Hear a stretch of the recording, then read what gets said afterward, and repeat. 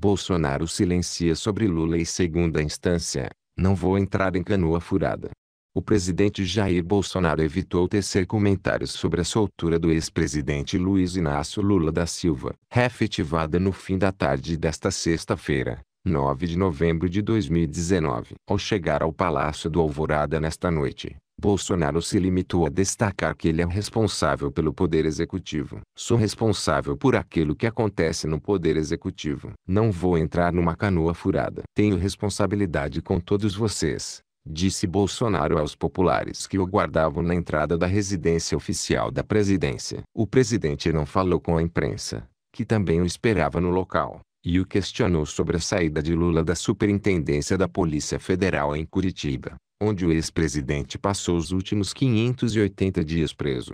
A soltura do ex-presidente se deu um dia depois de o STF, Supremo Tribunal Federal, definir, por seis votos a cinco, que a prisão de um réu deve ser feita com o trânsito em julgado, ou seja, só depois de todos os recursos serem esgotados.